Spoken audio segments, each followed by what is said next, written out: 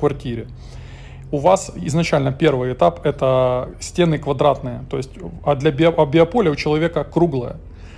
Э, второй момент – это соседи. То есть вы вот живете в квартире, да, казалось бы, вы вроде как изолированы, но ваше биополе соприкасается с другими людьми, которые живут рядом, вот по бокам, сверху. Следующий фактор – вы выходите, там лифт, садитесь в лифт, он маленький, и опять же таки заходят люди, сразу же идет воздействие и разрушение вашего биополя.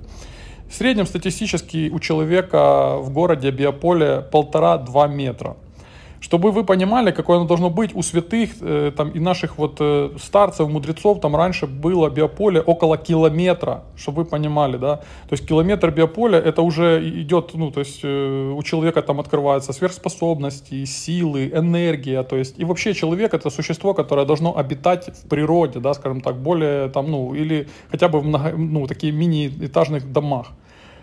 В 1944 году были серьезные мутагенные исследования и ученые доказали, что многоэтажки это серьезная мутагенная среда. То есть, когда рождается ребенок, у него там идут мутации, около до тысячи мутаций в ДНК, потому как э, ну, люди не созданы для многоквартирных домов, многоэтажек, то есть это разрушает их биополе, и, соответственно, если прорвано биополе, то оно сразу же переходит на тонкий план, люди начинают болеть, недомогание и так далее, различного рода проблемы.